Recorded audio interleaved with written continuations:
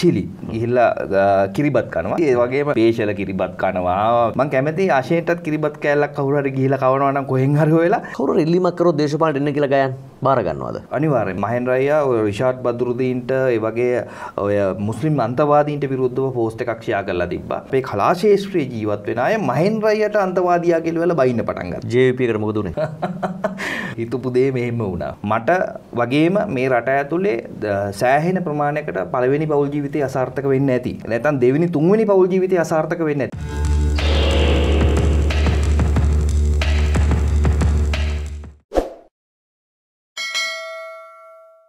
කොයිතරම් සතුටකින් ඉන්නේ? අ, රට ගැන ලොකු ආඩම්බරයකින් ඉන්නවා. හත්වන විදායක ජනාධිපතිවරයාගේ ජයග්‍රහණය ගෝඨාභය රාජපක්ෂගේ ජයග්‍රහණය. ඇත්තටම ගයන් ඔබ කොහොමද දකින්නේ?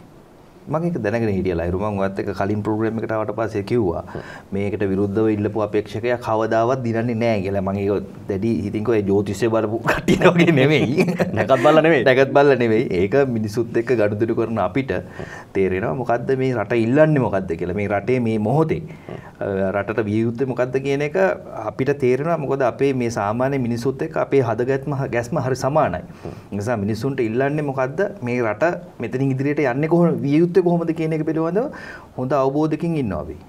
දැන් මේ මේ ජයග්‍රහණය අති විශිෂ්ට ජයග්‍රහණයක්. මේකේ කිසිම තර්කයක් නැහැ. කවුරු කොහොම කිව්වත් මේ ඇවිල්ලා ලංකාවේ බහුතරය විශ්වාස කරන මතය තමයි ජයග්‍රහණය කරේ. අනිත් අයට කොතනද වැරදුනේ?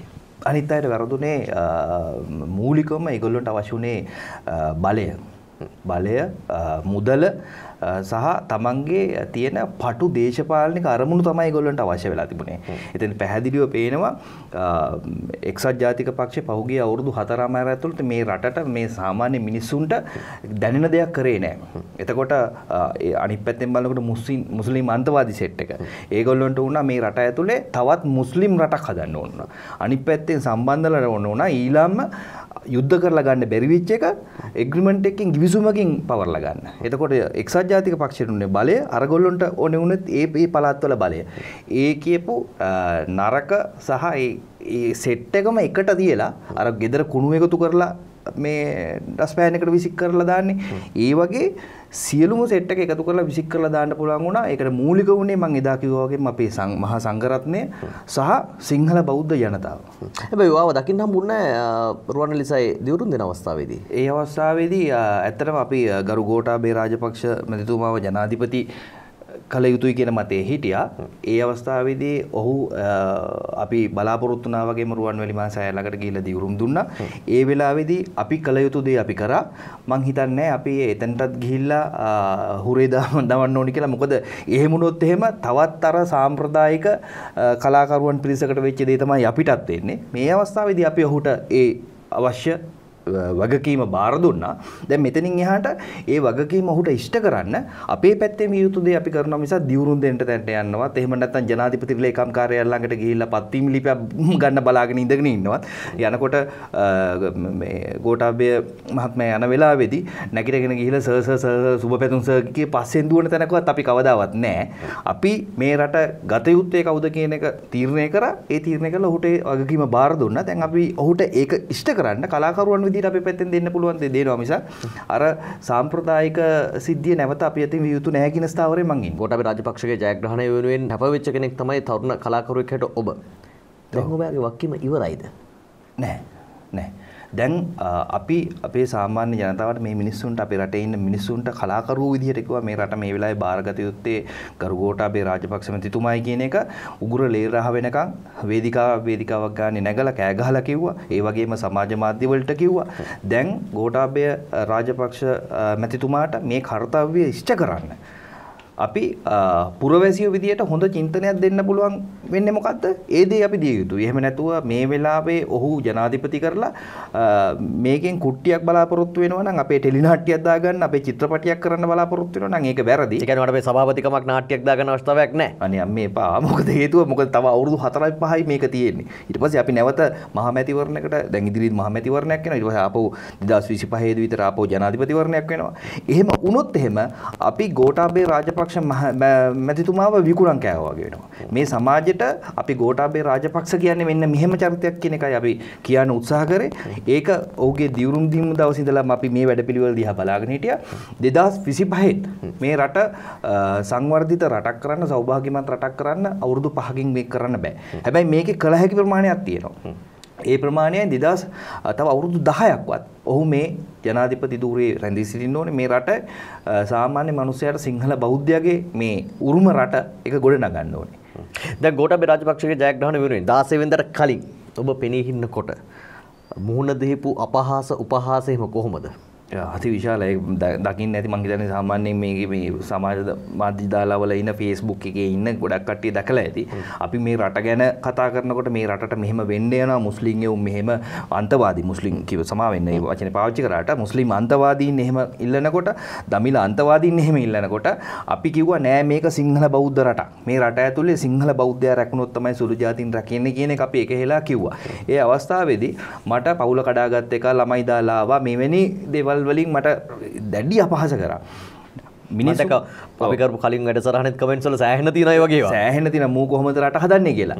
මට වගේම මේ රට ඇතුලේ සෑහෙන ප්‍රමාණයකට පළවෙනි පෞල් ජීවිතය අසාර්ථක වෙන්න ඇති. හා? නැත්නම් දෙවෙනි තුන්වෙනි පෞල් ජීවිතය අසාර්ථක වෙන්න ඇති. ඒක මගේ පෞද්ගලික දෙයක්.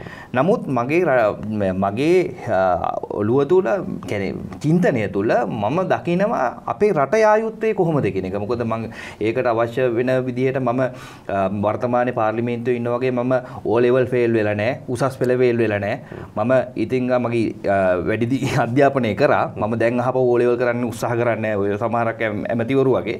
මට ඒ පිළිබඳව හොඳ කියන්නේ දැනුමක් තියෙනවා. මම ඒක කියන්නේ 100%ක් හරි මූලික සුසුකම් තියෙනවා. මූලික සුසුකම් තියෙනවා. ඒ පිළිබඳව මට හිතනවා මේ යමක් කළ හැකි කියලා.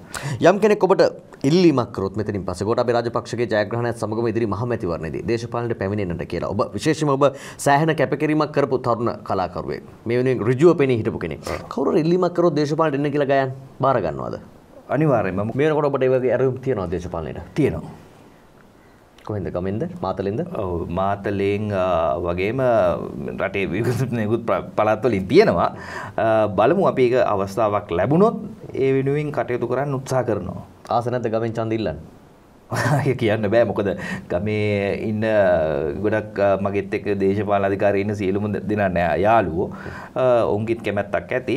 අවස්ථාව කමුණු බල මගේ දාට ඉස්සල්ලවට කියන්න. හරි. අපි නිකන් උපකල්පනය කරමුකෝ යම් හේකින් ඉදිරි මැතිවරණයේදී මහ මැතිවරණයේදී ඔබ මාතලෙන් චන්දරිල්ල නැතම් මහමැතිවරණට පෙනී සිටින්නට අවස්ථාව උදා වෙනවා.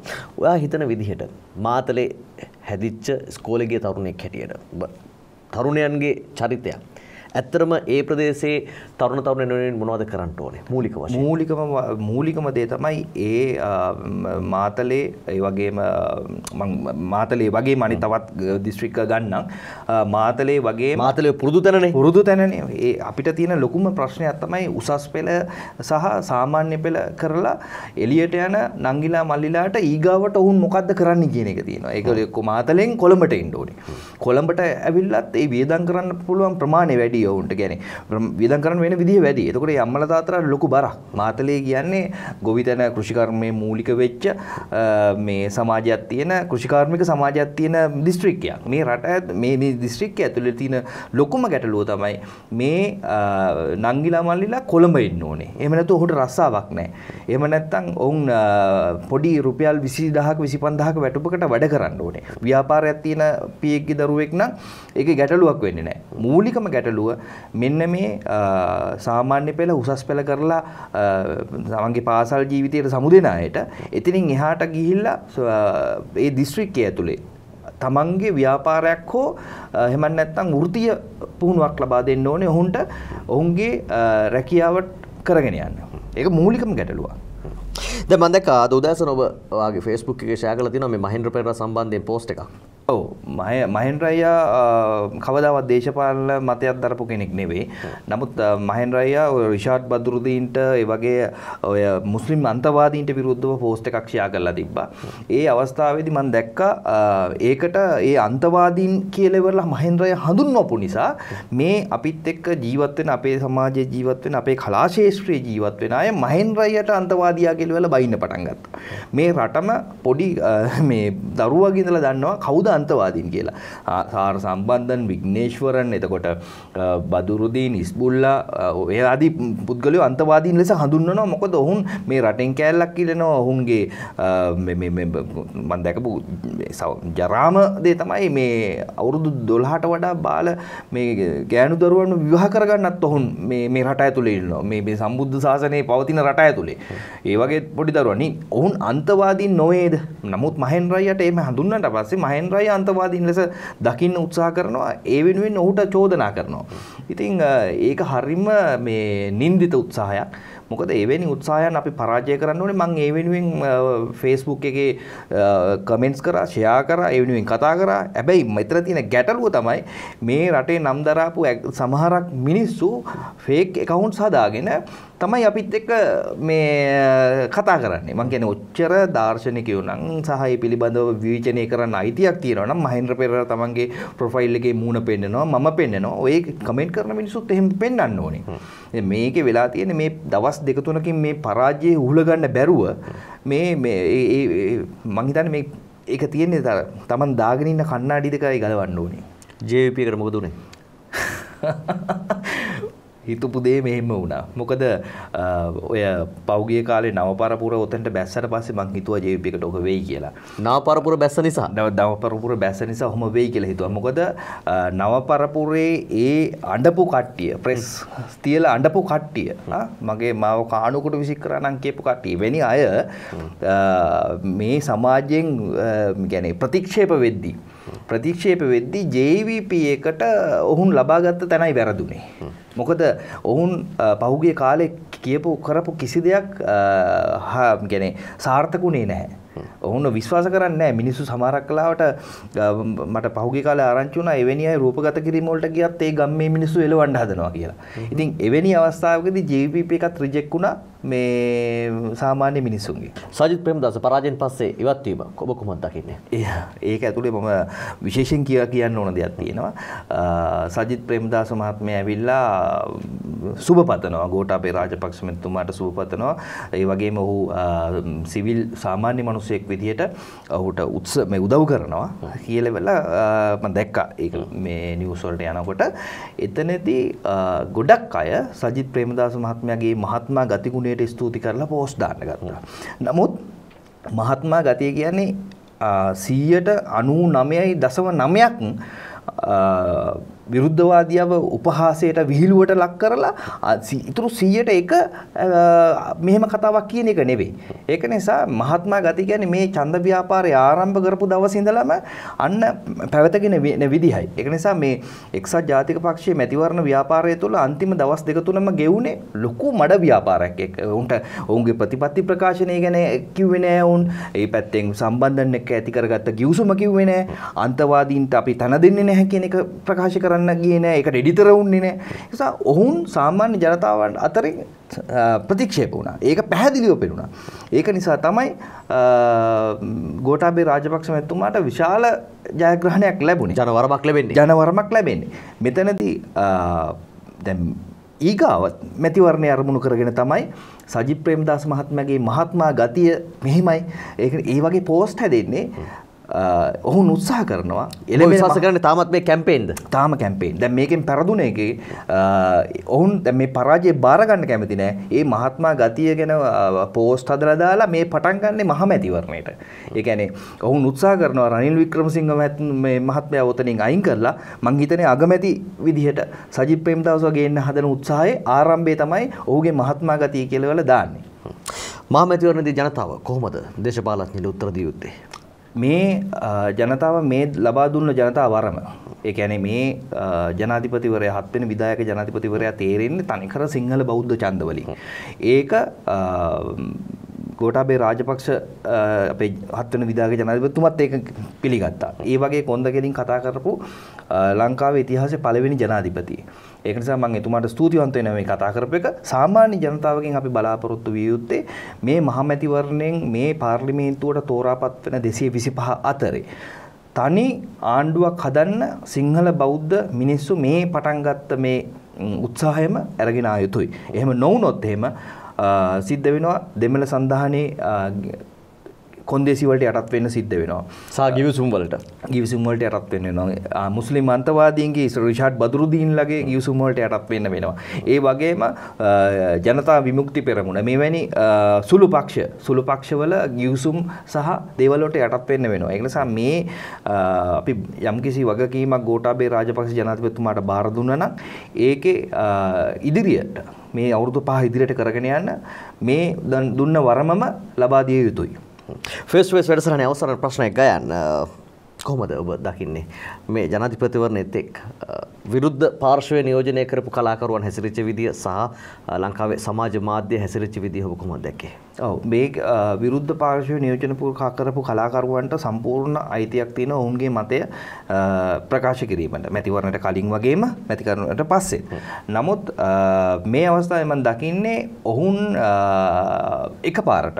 එකපාරටම ගෝඨාභය රාජපක්ෂතුම ජනාධිපතිතුමාට සුභාශිංසන ප- පළ කරමින් මේ ඔවුන්ගේ දෙවෙනි උත්සාහය තමයි අර මම කලින් කියපු එකටම අහපව මම මේක යා කරන්නේ. ඔවුන්ගේ දෙවෙනි උත්සාහය තමයි ඊගාව මැතිවරණය අරමුණු කරගෙන යන එක. ඉතින් ඊගාව කාරණේ වහපු මේ මැතිවරණ ව්‍යාපාරයේ ඇතුළත සමාජ මාධ්‍ය තුල සමාජ මාධ්‍ය තුල විශාලම මේ මේ පෝස්ට් එකක් වමාරු වුණා මැතිවරණය මං හිතන්නේ මේ සමාජ මාධ්‍ය ජාලය පාවිච්චි නොකර කරන්න බැරි තත්ත්වයකට පත් වුණා. නමුත් ඒ අතරේ ඒක අනවශ්‍ය විදිහට පාවිච්චි කරපු මේක පුම්බලා විනාශ කරන්න හදපු ඒ කෑ ගහපු අය දැන් මට පේන්න නැහැ. ඒක නිසා ඒක හිතහමක් කනගාටුයි. මම දැක්කා අපේ ගාය ගායකයෙක් වෙන අපේ චිලි ගිහිල්ලා කිරිබත් කනවා. ඒක හොඳ දෙයක්. මොකද අපි හිතුවා කිරි කිරිබත් කයි කියලා චිලි. ඒ වගේම පේෂල කිරිබත් කනවා.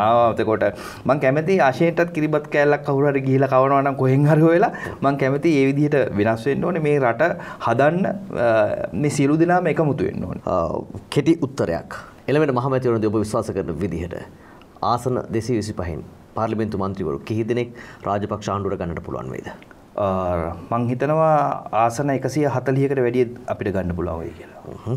වන සූපතුනවා ඒ දෙසිසි පහ කෙනෙක් බවට පත් පත්වේවා කියලා බොම ස්තුති වැඩසටාවට ස්තුතියි.